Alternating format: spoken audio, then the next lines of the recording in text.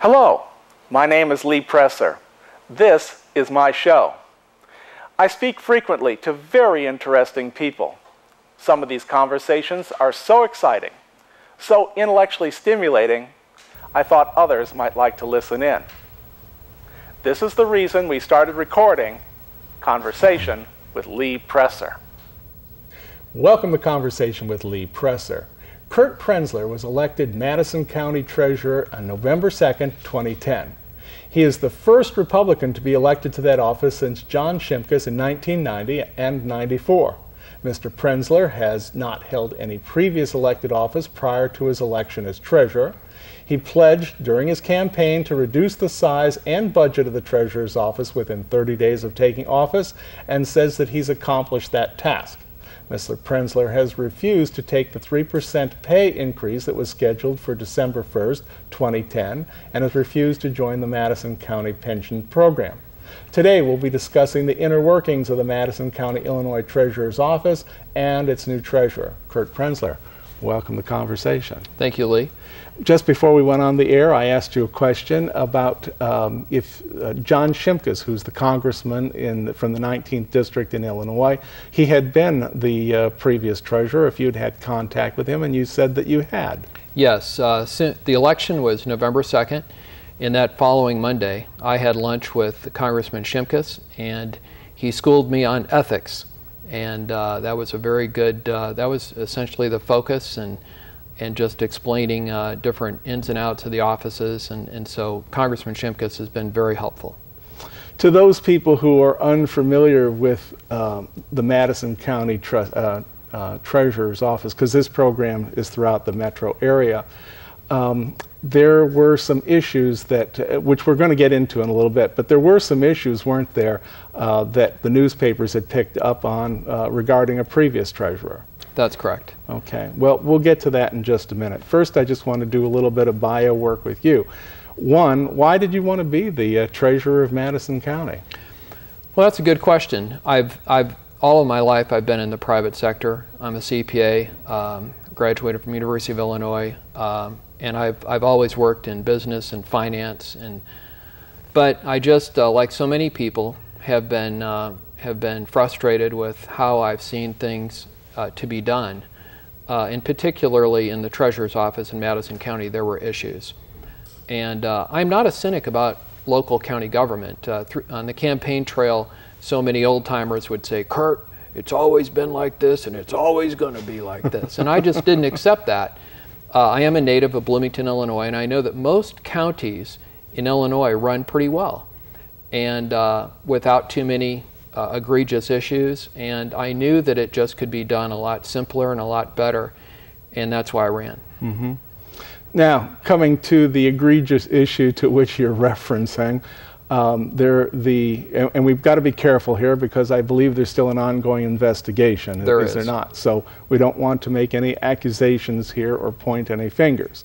But according to newspaper reports, there was some issue involving a former treasurer um, and the sale of properties that hadn't paid their real estate taxes. Is that correct? That's correct. And so this is so. You, you so, go on. So uh, bear with me because this is somewhat of a complicated issue, but in the treasurer's office, the primary job of the treasurer's office is to send out the tax bills and to collect the taxes. So in Madison County, the Madison County Treasurer's Office sends out about 130,000 uh, tax bills. And then uh, through that tax collection, they, they collect that money. And then at the end of the cycle, they have about 2,500, and this number has been pretty much true over the years, about 2,500 out of those 130,000 about 2,500. 130,000, those are parcels? Those are parcels, in, the that's Ma correct. In Madison County, 100, okay. 130,000 parcels in Madison County. And then at the end of the tax cycle season, 2,500 are not paid. Mm -hmm. And so about two, not even 2%, a little under 2%. That's right, that's right. And uh, so the, what the, but the levy has been established to collect all of that money. And so right. therefore, in the last, uh, uh, at the last uh, tax cycle, we were owing about four and a half million dollars. So every year, year in and year out, the every county in the state of Illinois has what they call a tax auction, and this mm -hmm. provides an opportunity for uh, tax buyers to come in and to pay those taxes. They're like substitute taxpayers. Mm-hmm. So they, they come in and they pay those taxes for those 2,500 tax bills. Now, why so would people who didn't pay? That's right. right. And you're trying to make up so that the government has as much money as they thought they were going That's to have. That's right. So that the library district or the school district has all the money that they they levied. Okay. And so this has happened. This is nothing unusual. This happens year in and year out. Now, the quid pro quo is why would a tax buyer take his money and pay someone else's tax bill? Well, in exchange for a rate, okay? And uh, the Illinois state maximum is 18%. And so, so what so they get interest on the money that they've they've right. loaned out basically that's to the correct. county. And that's why the, that's the business of these tax buyers. They they pay tax bills for people in in in return they get an interest rate. And who now, pays this interest rate back at the, the end? The taxpayer. Uh-huh. Most taxpayers who are late don't lose their homes. Most of them uh, end up paying those late taxes, and then they pay additional penalties, and then they. But they're pay not paying you. Rate. They're paying. That's they're correct. paying the person who put money out in their substitution. That's correct. Technically, okay. they take a cashier's check to the county clerk's office, but that money goes to the tax tax buyer. Okay. Right. Now, in all Illinois, all of 102 Illinois counties, they have a tax auction, and they begin the auction at 18 percent and they have a they have a bidding process where they begin at 18 and they bid that rate down. So, for example, in recent years, uh, uh, other counties have achieved interest rates under under five percent. They begin at 18, and mm-hmm. it depends on the property. If it's a small bill, no one's interested. If it's a bill of only $100, the tax buyers may not be interested. But um, but many of them, so it just depends on the free market operating. But what was happening in Madison County was very unique. First of all, there were only two counties that I could identify four years ago when I did my research. Only two out of 102 counties in the state of Illinois where treasurers were taking political donations from tax buyers. Now, immediately that, uh, you probably don't host the program, Are You Smarter Than a Fifth Grader? But I think any fifth grader would know that if you take political contributions from a tax buyer and now you're conducting an auction of tax buyers, you are no longer free of any conflicts of interest. Now, here's what happened in Madison County is that for, and, and this was under the administration of, of Treasurer Fred Bathon. So, two years ago, there was a tax auction, and over 2,500 tax bills were sold at 18%, and only eight were less than 8 18%. Now, that is in complete contrast to what was taking place in other counties. So, what was different about Madison County? Number one, Madison's, Madison County's treasurer had taken over $140,000 of political contributions from tax buyers. And number two, what was very, very different was the result. And that the result was that, uh, that they were having a tax auction where all the tax buyers were bidding 18%. They would all bid 18. So who won the auction? There was a spotter in the, in the, from the treasurer's office who would select the winner. Evidently, they had the ability to determine who was yelling 18% quicker First. than the others. Right. So this is the subject of, an, of a federal investigation and a state investigation. As I understand, I really don't have a lot of information about that. But so what I did was I said, I will pledge that I will not take one dollar of uh, political contributions from tax buyers. Now that was hardly a, a, difficult promise for me to make because 100 out of 102 Illinois county treasurers were already not taking any money from tax buyers.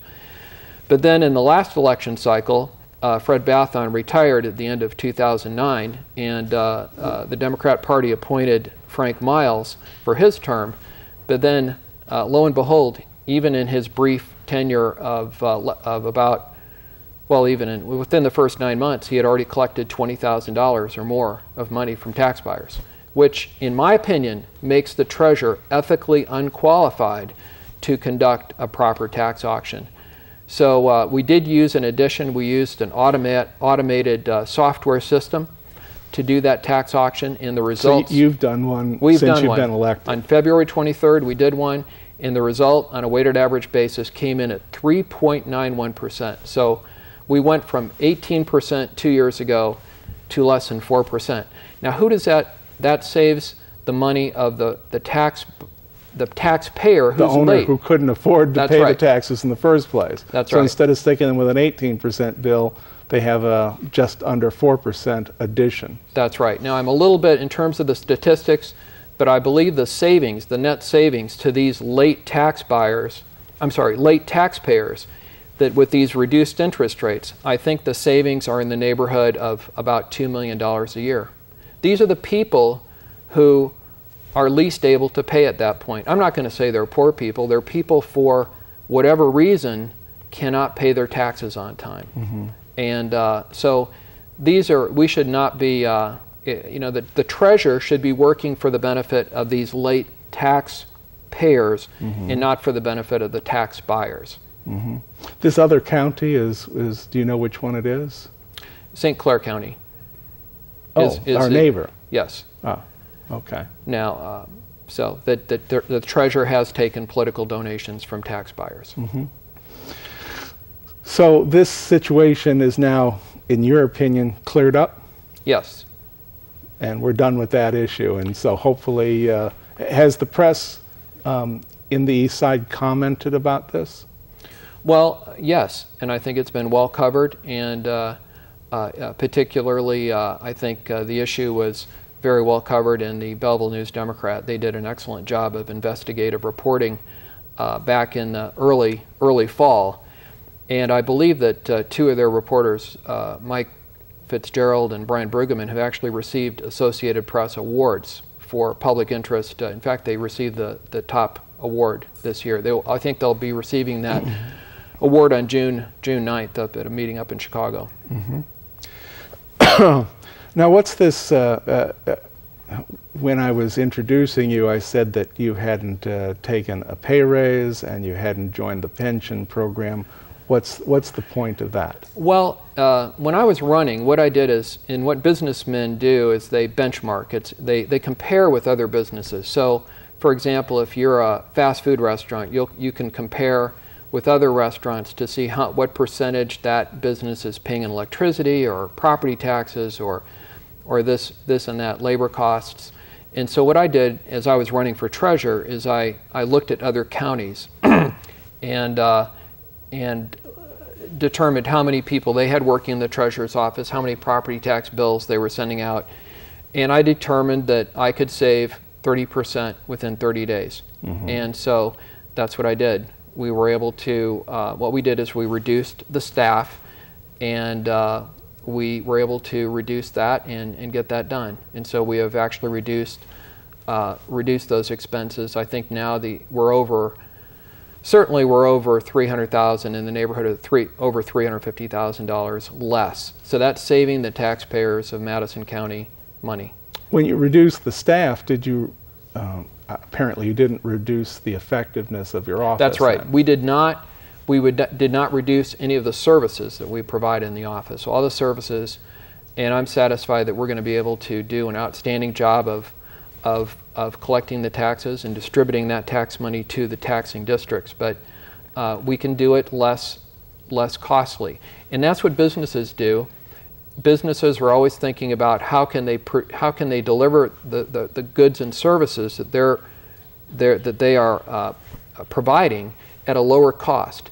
And in fact, the U.S. Labor Department, year after year, collects statistics to, to find out how, more, how much more productive the American workforce is. And let's say typically every year in the private sector, we see a 2% productivity increase.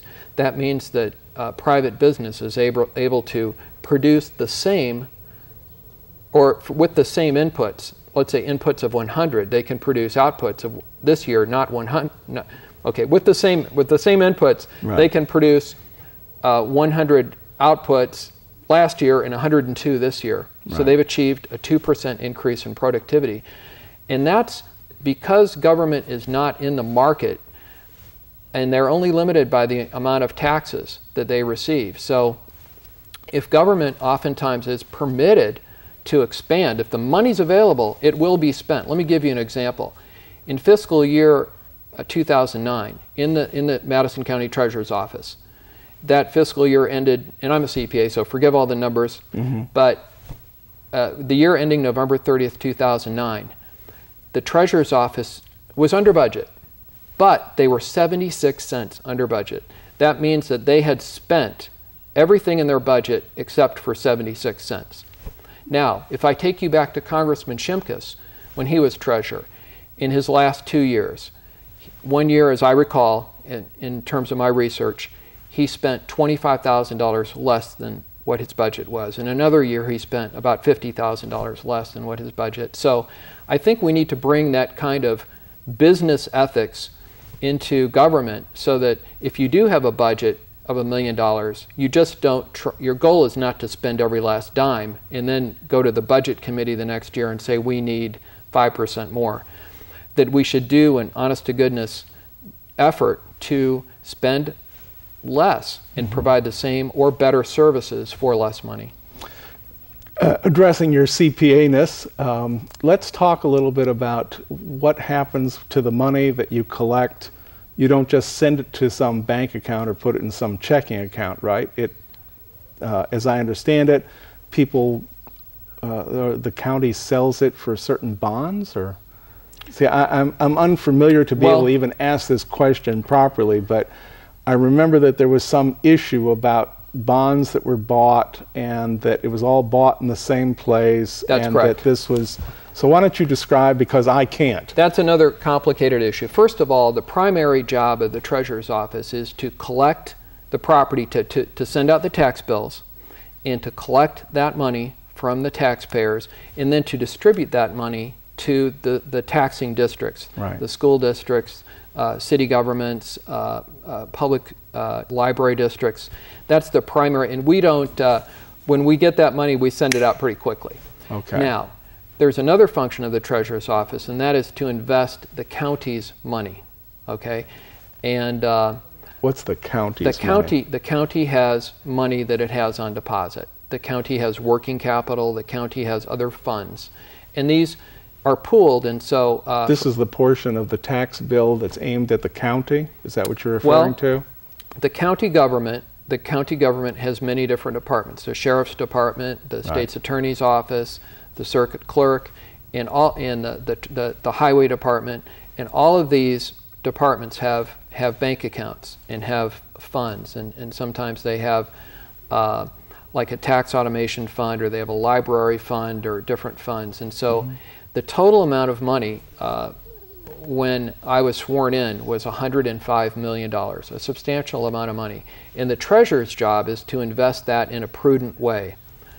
Well, what we found, and we're still keeping a very close eye on this, um, Treasurer Fred Bathon had established, as was required by Illinois state law, he appropriately established investment guidelines. And part of these guidelines indicated that, that the Treasurer's office would not invest in in bonds beyond a 10 year maturity.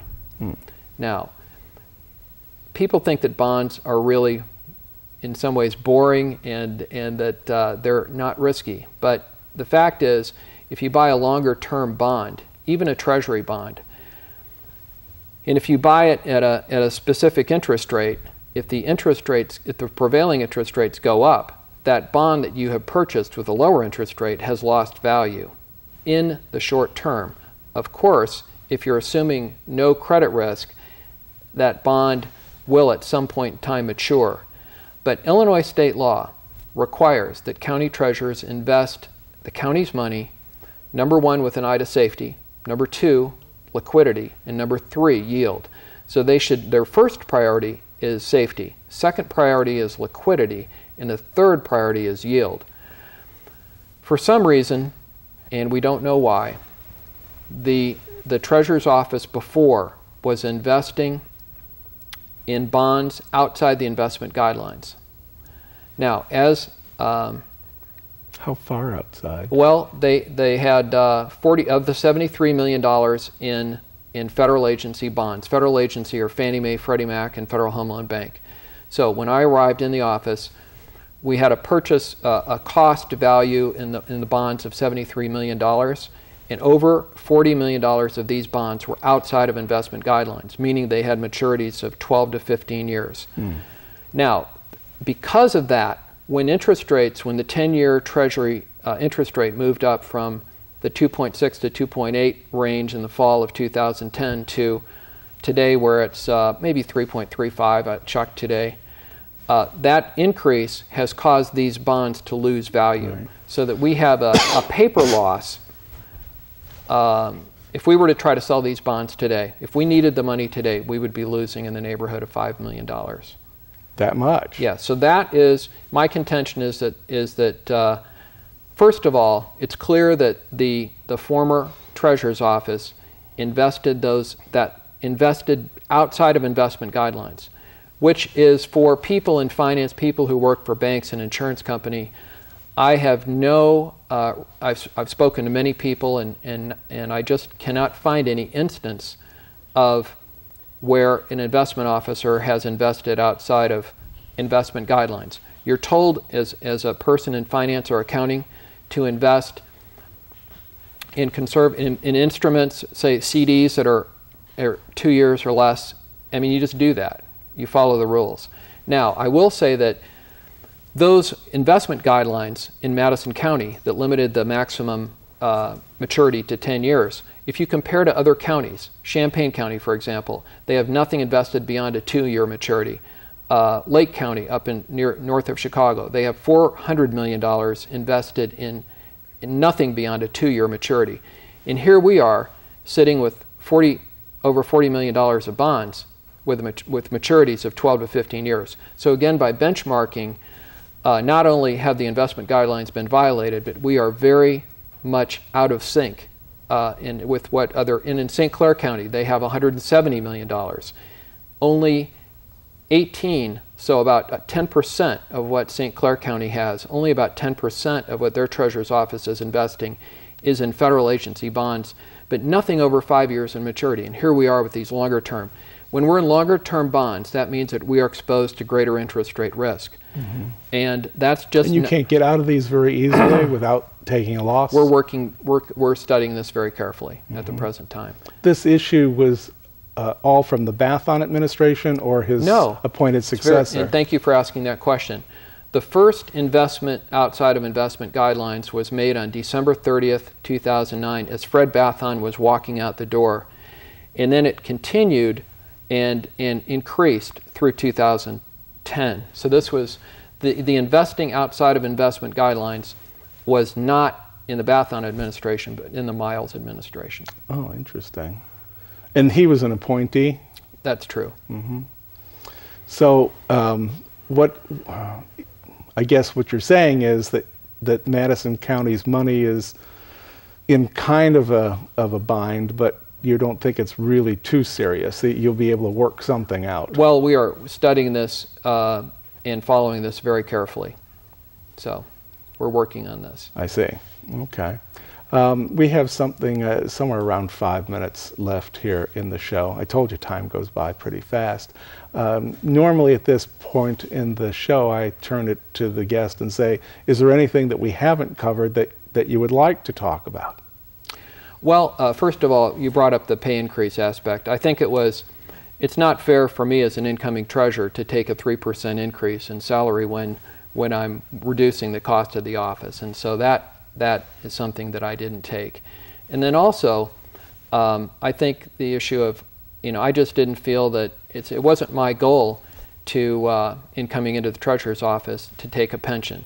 And I think that uh, that's one big issue is that we're looking at, you know, I think in the state of Illinois and other areas too, is examining that entire area because it's a huge cost. And it's a cost that actually Madison County uh, taxpayers can actually see on their tax bills. They can see uh, where their tax money is going. When they get their tax bill, as in years past, I'm not mm-hmm. doing anything different, is that they will be able to see what percentage of their tax money is going to the public schools, what percentage is going to municipalities, what percentage to other districts and the county and this sort of thing. Uh, one additional thing we did is that, uh, again, I'm looking for, for how to do the same job or better for less. And we were saving a total of uh, $30,000 on the tax bill. Uh, as, as I mentioned, we send out 130,000 tax bills, 130,000 parcels in Madison County. Now, we have four payment dates. And those this year will be, uh, I believe, July 6th, September 6th, October 6th, and December 6th. Now, you said four? four. Four. In Madison County, we're one of two counties where we have four payment dates rather than the standard two. Right. And we were sending out four envelopes. Well, most people just threw those envelopes in the trash, and so this year what we're doing is we're sending out uh, we're sending out four stickers. So you can put a sticker on an envelope, and uh, and that's saving us fifteen thousand dollars.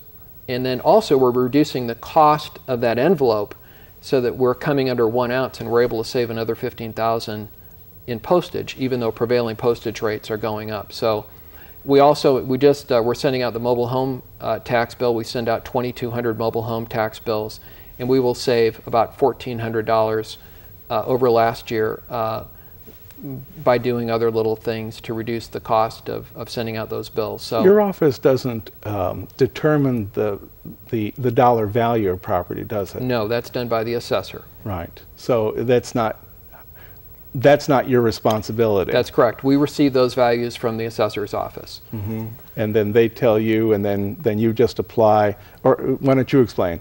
You, you get a number, a house is determined to be $100,000 worth of house.